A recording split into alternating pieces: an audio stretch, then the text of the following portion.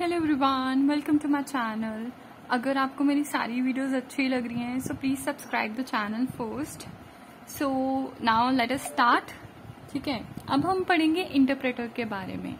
Interpreter होता क्या है? It is a program that translate high level language to executable code वही काम जो कंपाइलर करता है, ठीक है? बट उसमें और इसमें थोड़ा सा फ़र्क होता है. ये क्या करता है? लाइन टू लाइन एग्जीक्यूशन करता है। बट वो लाइन टू लाइन एग्जीक्यूशन नहीं करता है। वो सारी मतलब देख लेता है कि क्या प्रॉब्लम है, क्या नहीं है। मतलब टोटल वो पूरे के पूरे वो देखता है, जो भी एरर्स होते हैं। बट ये लाइन टू लाइन एरर देखता है, ठीक है? अब जैसे सोर्स कोड है इंटरप्रेटर है, ठीक है? बाद में एग्जीक्यूटेबल कोड में कन्वर्ट कर देगा। सो दिस वॉज़ इंटरप्रेटर अब मैं आपको ना मतलब अब हमारे मन में क्वेश्चन आता है कि अच्छा दोनों ही एग्जीक्यूटेबल कोड में कन्वर्ट कर देते हैं बट फिर दोनों में डिफरेंस क्या है? ये क्वेश्चन भी आ जाता है यूनिवर्सिटी एग्ज़ाम्स में, ठीक है? तो हम ये पढ़ते हैं कि दोनों में डिफरेंस क्या है। अब सी कंपाइलर और इंटरप्रेटर में डिफरेंस क्या है? ये है, सारा इंटायर प्रोग्राम एज इनपुट ले लेता है बट इंटरप्रेटर क्या लेता है? Single instruction and at input लेता है एज इनपुट ठीक है? सिंगल इंस्ट्रक्शन एज इनपुट ये लेगा। अब कंपाइलर क्या करता है? इंटरमीडिएट ऑब्वियसली कंपाइलर हमने सारे पढ़े लेक्सिकल एनालाइजर होता है सिंटेक्स एनालाइजर सिमेंटिक एनालाइजर बाद में इंटरमीडिएट कोड जनरेटर होता है। तो उसमें क्या है? Intermediate code object code generate होता है बट इंटरप्रेटर में कोड जनरेट नहीं होता। ठीक है? अभी सीधे फोर्थ पॉइंट पे जंप करो पहले। इसी की वजह से इंटरमीडिएट कोड की वजह से ही जब मेमोरी है ना, वो क्या है? उसको ज़्यादा स्पेस चाहिए होती है ऑक्यूपाई करने के लिए। More memory is required as it generates intermediate code ठीक है? इसलिए ज़्यादा मेमोरी चाहिए होती है।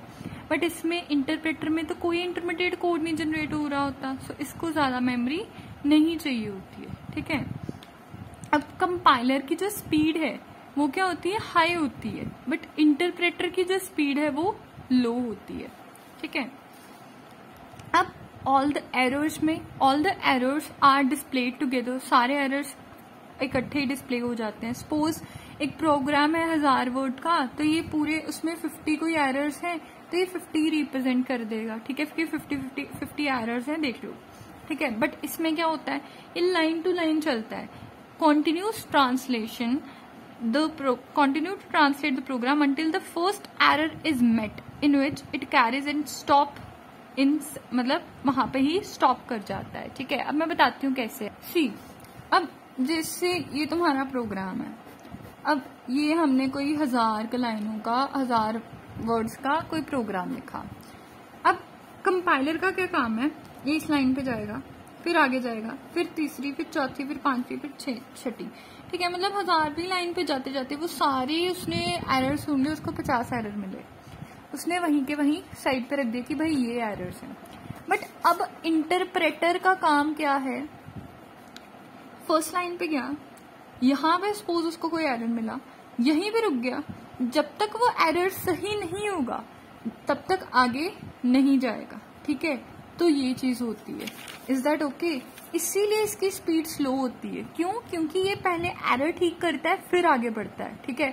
अब आगे बढ़ा, फिर मतलब एरर देखेगा, ठीक है? फिर आगे बढ़ेगा मतलब अगर कोई एरर आया, उसको ठीक करेगा।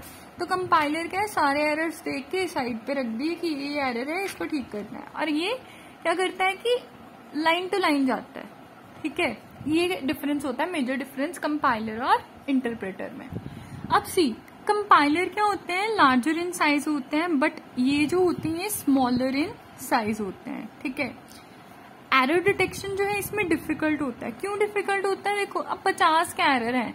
सारे प्रोग्राम से देख के, उसने देखे कि भाई पचास एरर है। कहाँ कहाँ से ढूंढेंगे हम वो एरर ठीक है प्रॉब्लम तो आएगी बट यहाँ पे इजी होता है, क्योंकि यार लाइन टू लाइन देखता है एरर जहाँ एरर मिलता है, वहाँ पे रुक जाता है।